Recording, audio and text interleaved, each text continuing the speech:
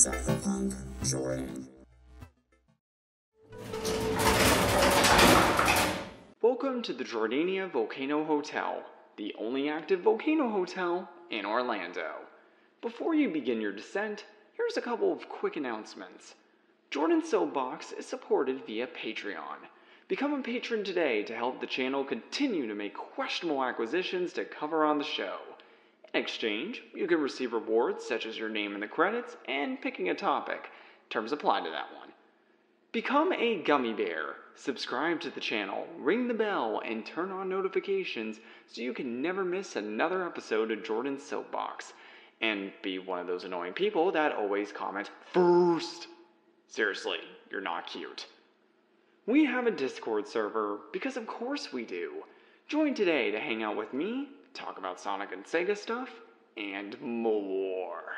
And now, without further ado, enjoy the show.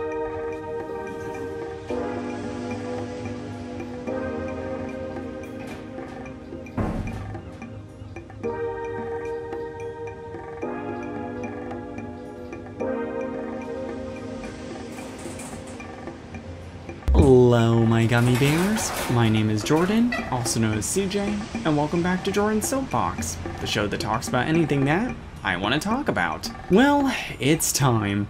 I'll fully admit that I tend to focus more on the comic side of Sonic. But that doesn't mean I'm not interested in other aspects of the Blue Blur, such as television shows, movies, and of course, video games, with Sonic Frontiers being the latest of the latter. But before we do that, how did we get here?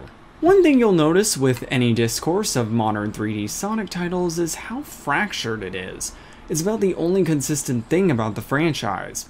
Because since 2001, when Sega exited the console business, Sonic the Hedgehog has been utterly inconsistent, with wildly different stories, tones, gameplays, and so on and so forth. When compared to other similar franchises like Mario, there is at least some consistency in those titles, even if they are a bit different. Unfortunately, minus a few cases that, even then, barely meet that mark, Sonic hasn't had this. Now, I should probably mention, as you're writing an angry comment down below, no, I don't hate all of the Sonic titles to come out since then. I actually like quite a few of them, like Sonic Heroes, Unleashed, and Colors. It's been exhausting with all these entries of different varieties.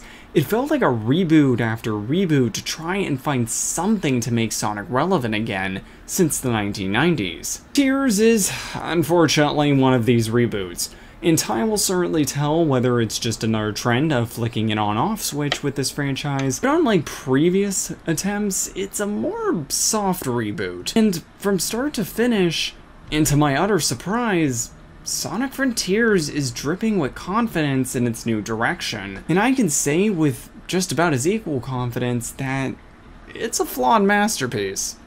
Yeah, let me explain why that is. I want to start off with the story of Sonic Frontiers because that's what intrigued me the most when it was first announced. Gone are the woefully unqualified, but please be nice.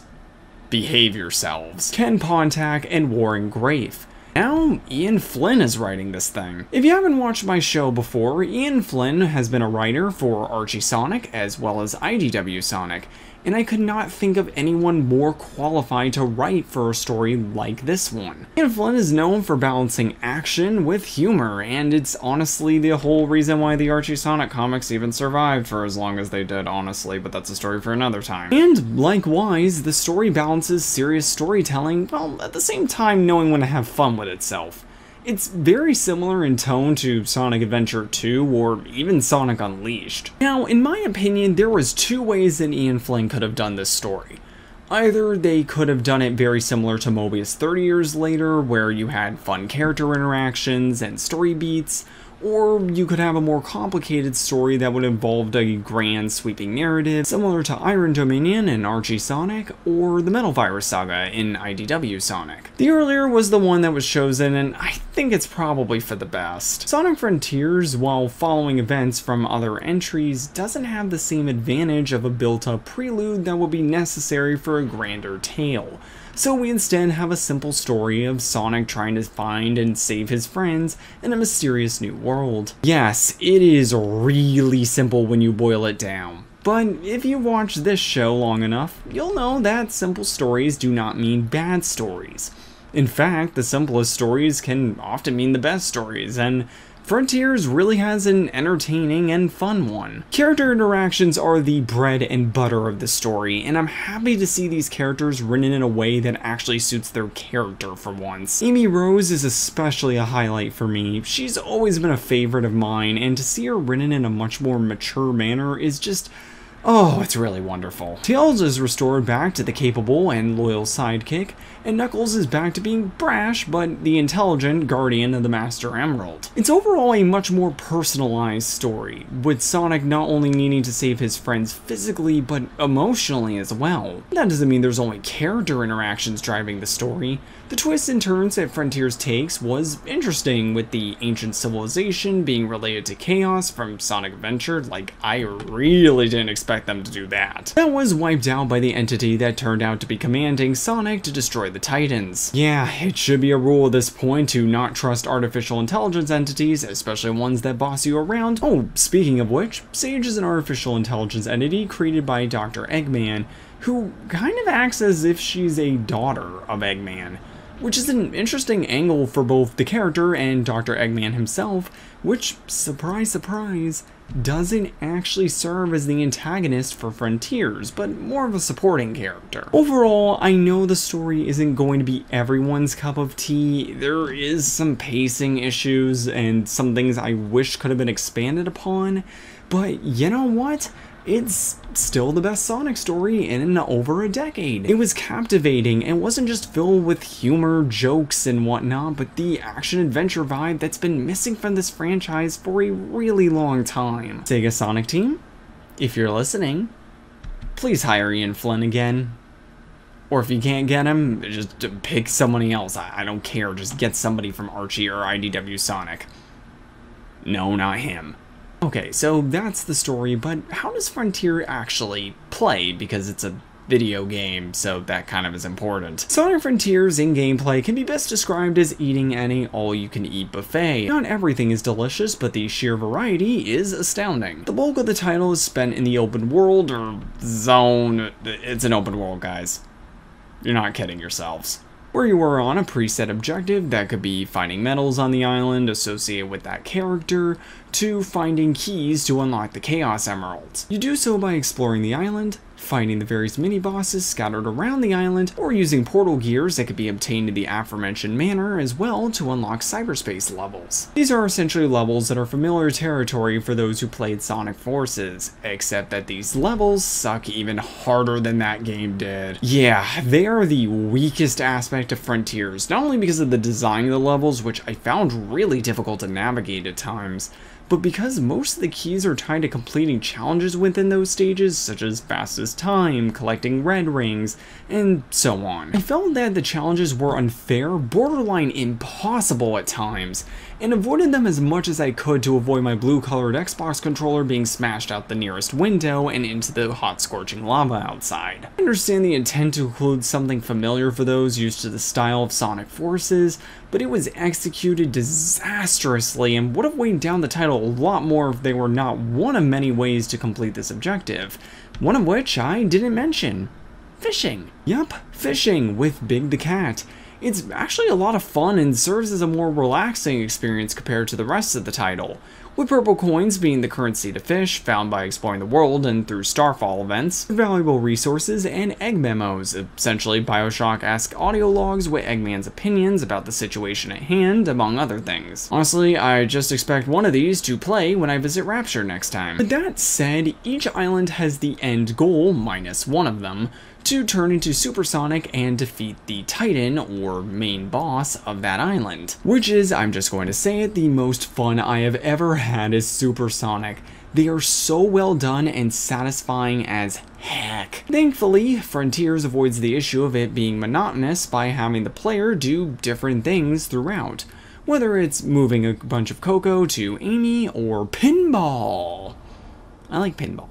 There are also collectibles to increase your abilities like ring capacity and speed, one of which is the Koco, these adorable little rock creatures that I'm starting to like a lot more than the Chao. Yeah, I did say that. No, I don't care.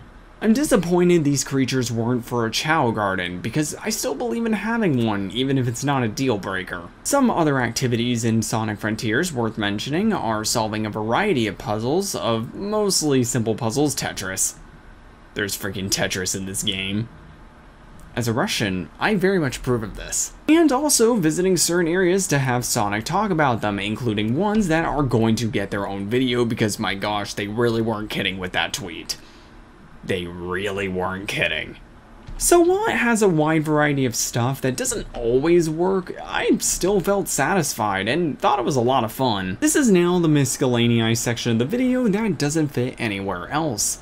I love the environmental design of Frontiers. The realistic worlds depicted on the islands are beautiful and at times otherworldly, especially at night. Oh yeah, there's a day-night cycle, which is pretty neat. Music needs to be highlighted here. Sonic has always had really good music, mostly minus you. I don't like you. But Frontiers easily has the widest variety of music in a Sonic title and all of it slaps. Especially the Metal Gear Revengeance style tracks like Find Your Flame, I mean th those are just bangers. It's also gonna put some nitpicks here like the lack of a photo mode, but all that turns out to be rectified in the DLCs because that's how long it's taken to me to get this review out. So, Sonic Frontiers. It's not perfect, not by any stretch but it's flawed in a way that a masterpiece is. To me, a masterpiece is a game that just does so much right that any little blemishes you can overlook, and Sonic Frontiers definitely is. It does so much right, you just can't help but love it, even if there are a few blemishes on it. I only just want Sega slash Sonic Team to continue with what they have here because they should be proud of it. I think they nailed it. They nailed something that can work for Sonic with a few adjustments. I just hope that they continue on with it, improve it, and tweak it a little bit. But please, for the love of gosh, give me some consistency, please. Because if they do, this really can be a new frontier for Sonic. If they just continue heading towards it. That's all for this episode Jordan's Soapbox. If you must excuse me, I need to cope with the fact that we've had nothing but good Sonic stuff all year.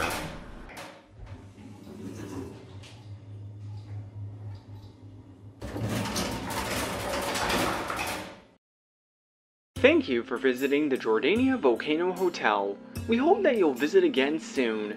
Before you leave, would you like something from our gift shop? Becca has the latest and totally not looted goods from all over the world. One item of note is the subscribe button, coming from the US state of California. It works best when you ring its bell and turn on notifications, so you don't miss an episode of Jordan's Soapbox. We also have a limited edition video that we also think you might like and a collection of Jordan Soapbox episodes in a playlist, all for the price of. Wait a minute. Free? We're giving this out for free? Becca, we are bankrupt.